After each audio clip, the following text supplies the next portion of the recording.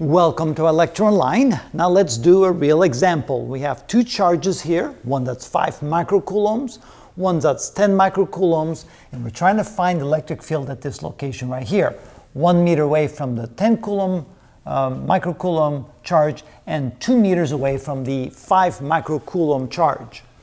There are some particular ways in which we can do this problem, but I think if you follow these steps, it makes it the easiest. The first step says to draw the vectors and then label the vectors. Then find the magnitudes of the individual electric fields caused by each of the charges. Then find the x and y components in case they're not all on the same line. That won't be necessary here, but when they're not on the same line, we'll have to do step three. Then we're going to add all the x and y components together separately.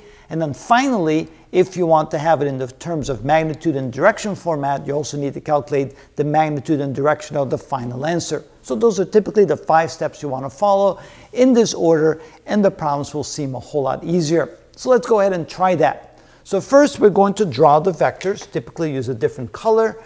So the electric field at this location due to this charge, well, that's going to be a lot weaker, not a field because this is a much closer charge and it's a much larger charge. So here, this would be the electric field from charge 1, and let's call it E sub 1 to indicate that this is the electric field vector of this charge right here. Now this is much closer, much bigger, so we'll have a much larger electric field caused by that charge, so let's call that E2.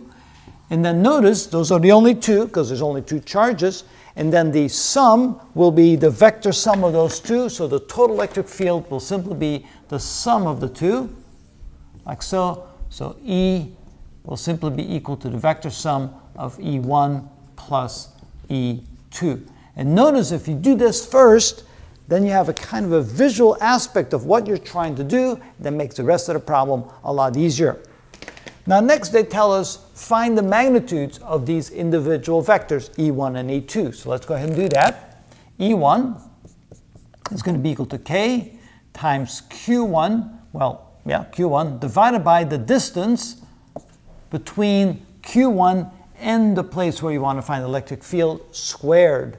So in this case, K, that would be equal to 9 times 10 to the 9th Newton meters squared per coulomb squared. We'll put the units here in this case. You can see how the units cancel out. Q1 would be 5 microcoulombs. That's 5 times 10 to the minus 6 coulombs.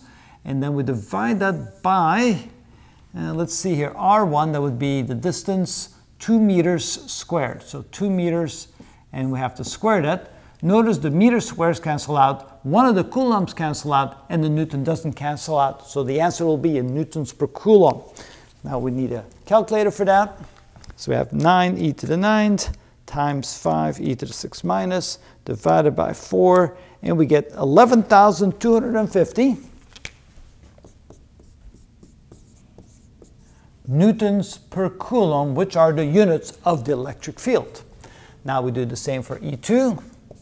So E2 is equal to K times Q2 divided by the distance to that charge squared. So again, we have 9 times 10 to the 9th newtons. Now I'm going to leave off the units so you can just see that it's a lot cleaner.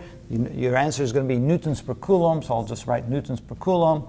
The charge here is going to be 10 microcoulombs divided by the distance squared, which is 1 squared. In that case, let's see here, we have twice the charge, so double that, and we have 1 quarter the distance, so times 4, and that will be 90,000 newtons per coulomb.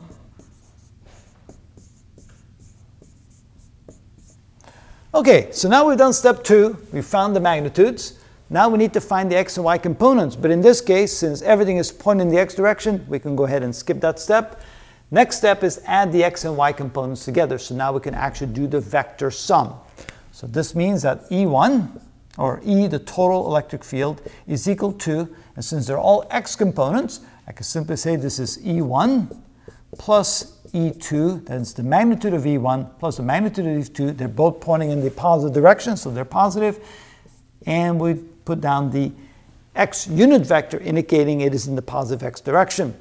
So this is equal to 11,250 newtons per coulomb plus 90,000 newtons per coulomb in the x direction. And so finally, the electric field at that location is equal to, add those together, that would be 101,250 newtons per coulomb in the x direction. Now, if you have an answer that's not purely in the x direction or purely in the y direction, sometimes they may ask you, well, find the magnitude, because then you'll have expressed in terms of an x component and a y component, and then you go through the process of finding the magnitude of the final vector and then the angle, the direction at which it points. But here we don't need to do that because the vector is simply pointing in the x direction, magnitude of 101,250 newtons per coulomb in the positive x direction.